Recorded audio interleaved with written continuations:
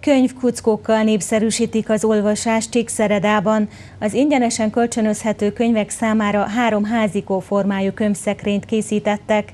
A kuckókat a Tanulókháza által szervezett rajztábor résztvevői festették ki Báncsa Mónika tanár közreműködésével, majd a város központi parkjában helyezték el.